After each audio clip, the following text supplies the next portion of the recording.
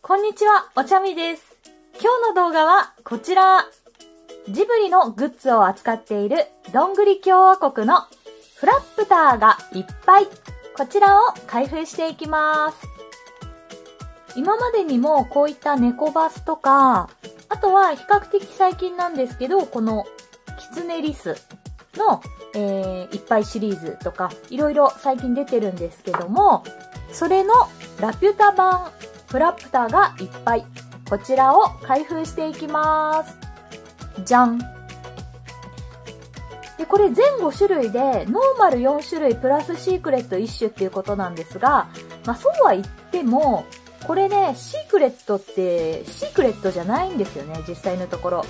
なんでかっていうと、ここ、あのー絵がこう、写真付きなんですけど、写真付きが4個プラス1個で5種類、シークレット入れて5種類なんですが、5個セットの中に必ず1個シークレットが入ってるので、あの20%でシークレットが出てくるんですよね。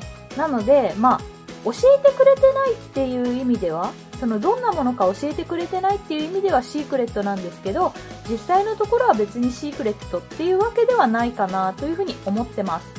で、5個のうちの2個買ってるので、まあ、出る可能性は大いにあるかなと期待しつつ、開けていきます。でね、私としては、まあ、ドーラも欲しいし、このシャルルとルイ、このね、二人組も好きなので、まあ、一番いいのはこのドーラとパズー、シャルルとルイで出てくれたら、全部のキャラクターが入ってるかなと思います。で、その他で言うと、ドーラ単体と、えー、パズーの単体。で、シークレットは実はもうどんなものか写真で見ちゃったんですけれども、まあ一応言わないで開けましょうか。これがシークレットであることを願って開けていきましょう。ちょっと欲張りすぎかな？シールがね、激しいんですよ。なんかこう開けられないようにシールついてて、ちょっと、これね、後ろも前も両方ともシールがバッチリついてるので、ちょっと、ワイルドに開けちゃいましょうか。あ、取れた。こんな感じでどう入ってるんだろう。緊張しますね。そのまま見たらわかるのかないきます。せーの、ドーンどうだ？どうだ？ドーラドーラの単体です。じゃーん。ドーラの単体が出るっていうことは、次の狙いはシャルルとルイでね、来てほしいなと思ってますが、どうでしょうか？こんな感じで入ってます。これ説明書なんですけど、羽が大きかったですよ。組み立てていきます。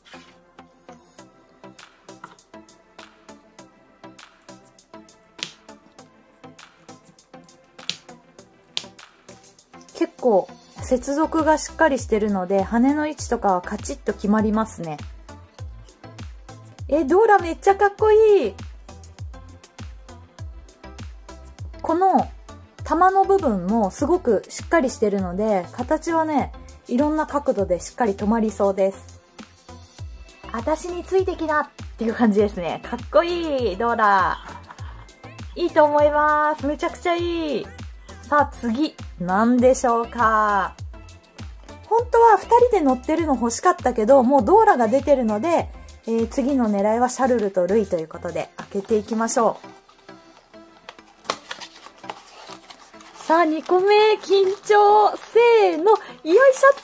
ああ二人のやつが来ました。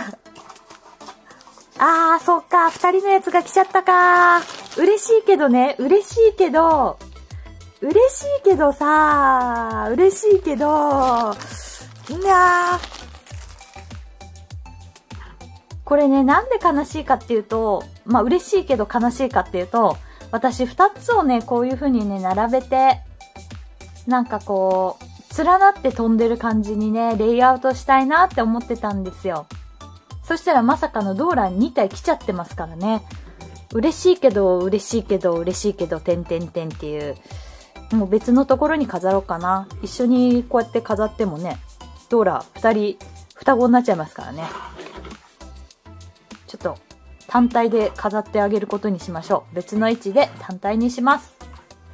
このね、二人で乗ってる、パズーと二人で乗ってる、この良さは、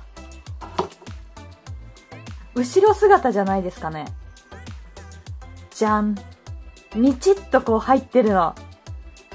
これいいですよね。なんかあの映画の感じをすごく思い出させる。一人のドーラもめっちゃかっこいいけど、二人で乗ってるこのみっちり感でね、連携して乗ってる感じ、すごくいいですよね。臨場感がある。実際ね、これ高いですけど、1個のフィギュアが。価値があると思います。すごくよくできてる。本当にめちゃくちゃよくできてる。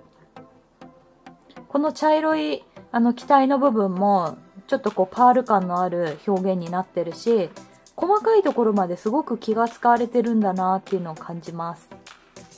で、この羽の部分ね、さっき、あの、パパパってつけちゃってたんですけど、この前の2つがちょっと小さめ。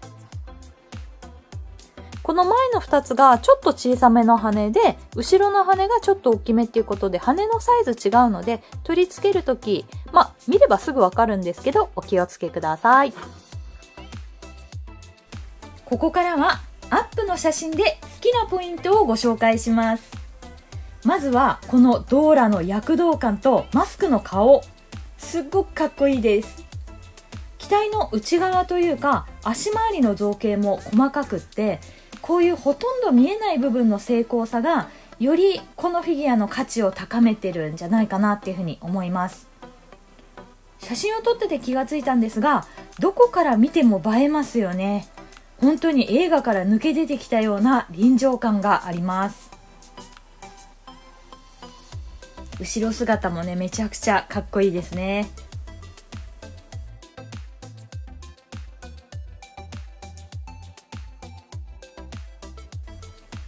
それではお待たせしました。360度ぐるっとお楽しみください。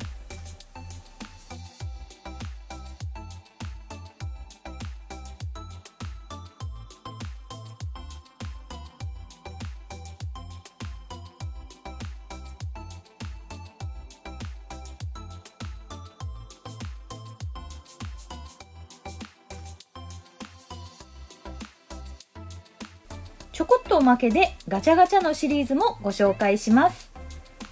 どんぐり共和国のガチャガチャなんですが、カプセルレスのガチャガチャなので、耳とか頭上のパーツを自分で組み立てるタイプのものになります。サイズも大きめで、かつフロッキーなので、ボリューム感があって気に入っています。売り切れても何度か追加で再販になってるみたいなので、多分待てば、のんびり待ってれば買えるタイミングがあるんじゃないかなっていうふうに思います。最後は、こちらのフラップターがいっぱいコレクションと同じブラインドボックスの形で販売しているポーズがいっぱいコレクションの猫バスとキツネリスをお送りします。ということで、こちらが最後になります。今回も最後までご覧いただきありがとうございました。次回はポップマートの開封になる予定です。ぜひまたご覧ください。チャンネル登録や高評価ボタンもぜひよろしくお願いします。またねー